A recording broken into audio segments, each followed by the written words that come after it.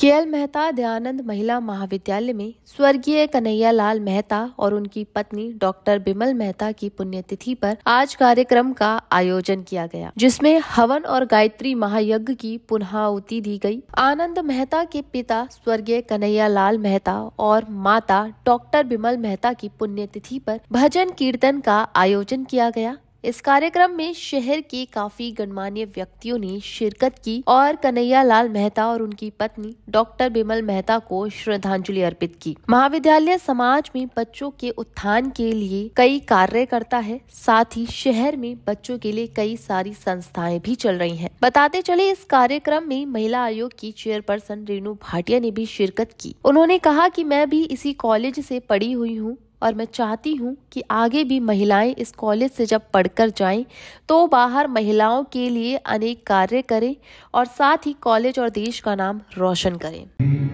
ओम जाने लगाने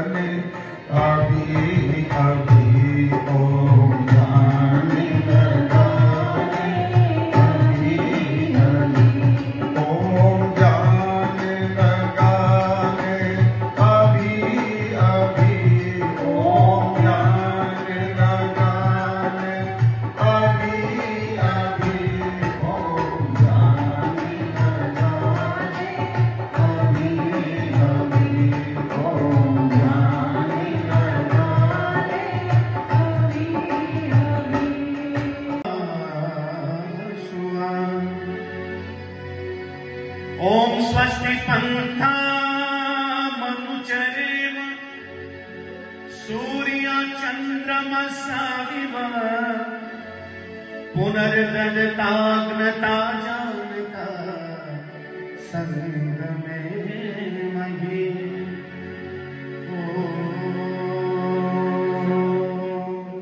इस संस्थान के मुखिया मेरे अज़ीज़ आनंद मेहता जी शुभ मेहता जी यहाँ पर मौजूद ओम संस्थान से जुड़े मेरे योग गुरु मौजूद हैं।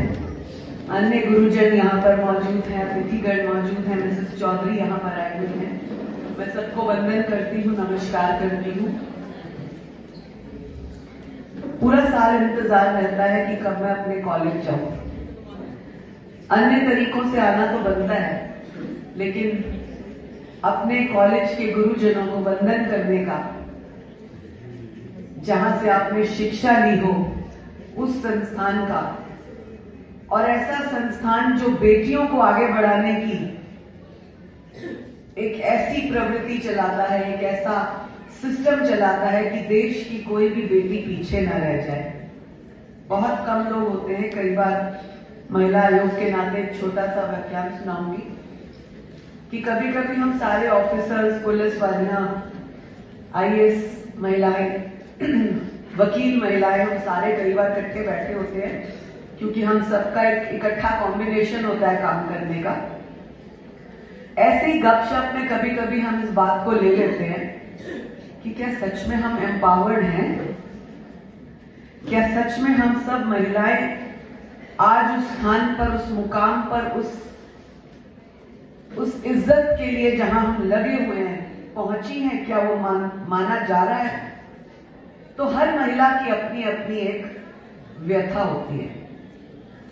कोई भी पुरुष मैं बहुत क्षमा के साथ बोलूँगी कोई भी पुरुष अपनी साथी महिला को आगे इतनी आसानी से नहीं आने देता। वो चाहे कोई हो टीचर्स हो प्रोफेसर हो पुलिस अधिकारी हो एडवोकेट्स हो, राजनीति में तो खास तौर से हो।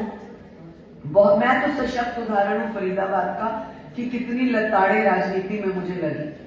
तो इसलिए हम यही बात कर रहे थे कि एम्पावर्ड का असली मतलब आज तक नहीं निकल पाया। लेकिन ये एक ऐसा संस्थान है, जो पहले दिन से महिला को एम्पावर करता है। की उपाधि दी गई। महान है आत्मा जिसकी। वो महात्मा। महर्षि दयानंद के अनन्य शिष्य जिन्होंने फरीदाबाद के अंदर शिक्षा का पौधा लगाया और आज जैसे आपने सुना कि महर्षि दयानंद ने तो समाज का काम करते हुए सत्रह बार जहर दिया।